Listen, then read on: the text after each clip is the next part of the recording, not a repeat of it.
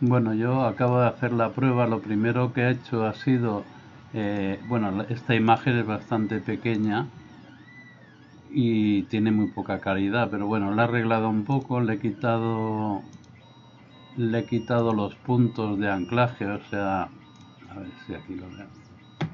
Imagen, aquí, placa 1. O sea, le he borrado los puntos que no tienen que ir, que son los de los agujeros de los tornillos dejo solo la placa, luego abierto el escape. Eh, en, el escape es muy fácil hacer, supongo que ya, pues si, si dices que ya tienes el SVG, pues es muy fácil el abrir el archivo, eh, vectorizar y luego exportar en formato SVG. Esto es muy fácil. Supongo que si dices que ya lo tienes, esto de aquí, luego se exporta en SVG ya está. Entonces una vez lo tienes lo que he utilizado es Blender. Utilizas Blender eh, eso sí los SVG salen muy pequeños. Eh, no sé si la medida es exacta pero bueno sería file import el SVG en descargas y se llamaba placa. Vale es tan pequeño que no se ve sería escalarlo, o sea, S10 o hasta creo que un poco más, S10 más.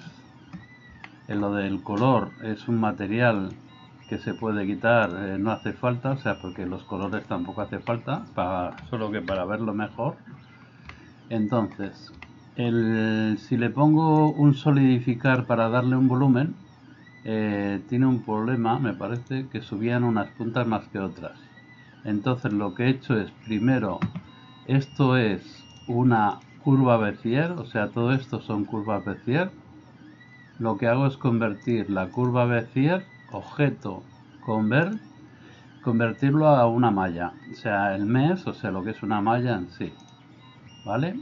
Luego lo que hago es eh, modo edición, seleccionar todo, extruir, G y Z, o sea, letra E, el grosor le podemos dar, no, aquí no, no sabría decirte cuál es el grosor que necesitas, pero bueno, luego esto se puede en el cura, se puede también...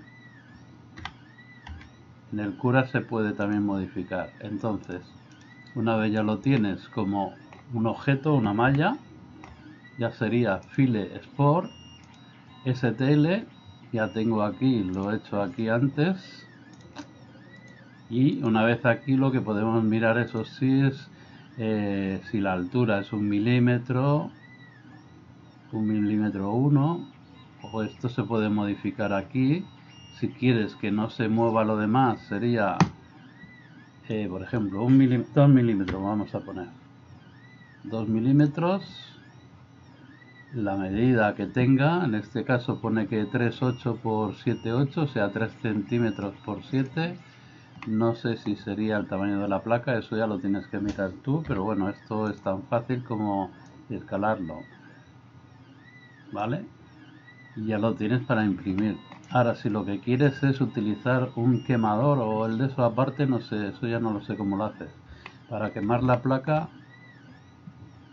mm, no sé si hay, si hay algún... o a lo mejor es invertido es, dijésemos, poner esto invertido para luego... No sé, eso ya no lo sé, pero bueno, eso es fácil.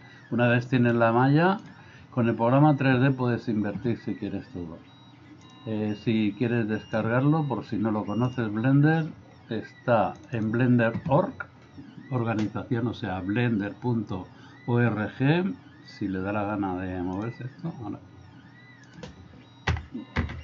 blender.org y tienes estas opciones de descargas tanto si es para eh, dijésemos Linux, Windows, Mac, lo que quieras.